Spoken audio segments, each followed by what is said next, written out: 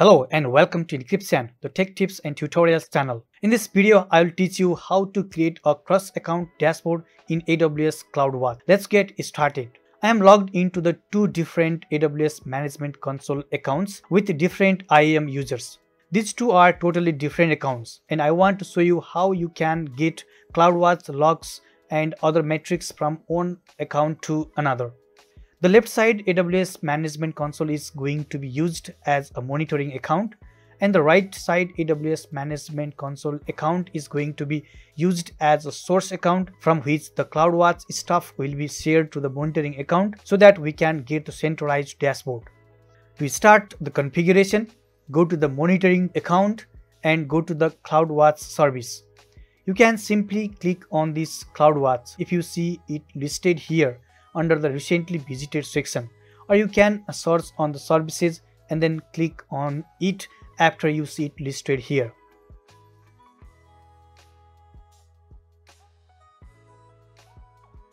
This is my CloudWatch dashboard. I maximize it uh, so that it becomes easier to see everything out here. Then go to the bottom part of the CloudWatch uh, left side bar and click on the settings. Now you need to configure monitoring here. In the monitoring account configuration, you can go through the details or you can directly click on the configure button. Select the data that you want to get in the monitoring. Scroll down a bit and hold on to the list source accounts because here you will need to add the source account ID. The source account ID may be of different types. The different account ID or organization paths or organization's ID uh, that will share data with this monitoring account. So go to the source account, note down or copy the ID, come back to the monitoring account and paste the ID on the box. If you want to add multiple account IDs or multiple account ID paths of the AWS organization, you should uh, separate them with a comma. Other settings are good with the default so click on the configure button. Now you have successfully enabled the monitoring account. You will need to link the configuration to the source account next. For this you can either click on this button or you can click this one. Here in the link your source account options, uh, you need to determine how you want to link your source accounts. If you want to link the AWS organization account, you should leave it selected. Download the CloudFormation template, go to the source account, create a stack and upload the CloudFormation template. We will cover it in a separate video. So for now, let's go with any account option, which means the individual source account which uh, don't belong to any AWS organization. Again, you have two recommendations to link the source accounts. The one is by downloading the CloudFormation template going to the source account, creating a stack and uploading the CloudFormation template there and uh, the other is by clicking on the copy URL button, going to the source account and pasting the link on the new tab there. So move on to the source account.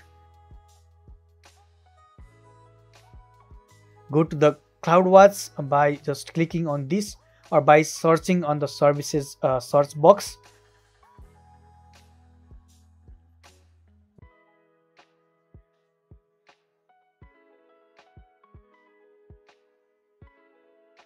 Then go to the settings, scroll down all the way to the bottom.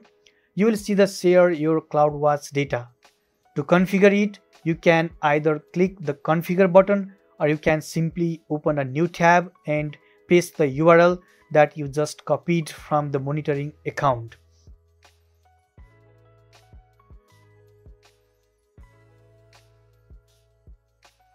You don't need to modify anything here as everything is correctly set up already. So click on the link button, type confirm and click on the confirm button.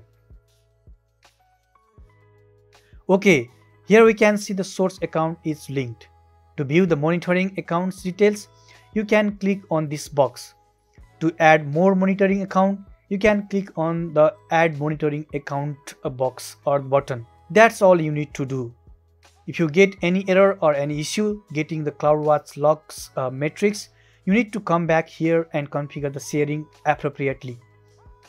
Now go to the monitoring account, create the CloudWatch dashboard and check if you can get the shared data from the source account. On the monitoring account, go to the CloudWatch, click on the dashboard, create a dashboard, give a name to the dashboard,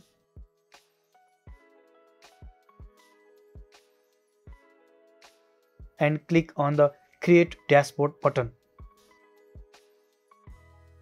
Then add a new widget. The data source type is CloudWatch. Let's create a widget for the metrics data type first and we will add the logs widget in the dashboard later. Let's leave the line widget type selected and click on the next button. Here under the browse section and in the search box, type or paste the source account ID. Choose the region of the metrics you want to monitor from the drop down box. Oops, the source account is lost. So retype or repaste the source account ID and hit enter. Now you should be able to see the CloudWatch stops here. Select the item you want to include on the dashboard. For example, the usage by AWS resources, which in total has 39 services in my case. Select all or some of the services that will be included in the monitoring and click on the create widget button. Okay, cool.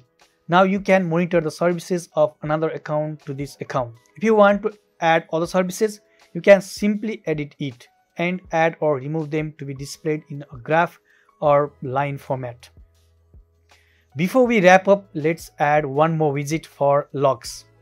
This is my source account and this is one of the CloudWatch log groups dashboard.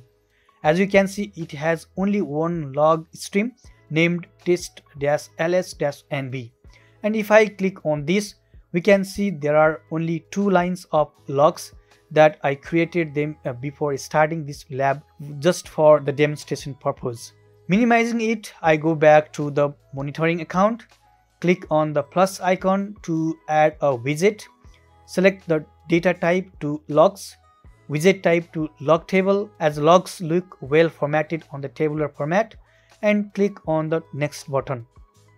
Wait for some time till it creates a log insights.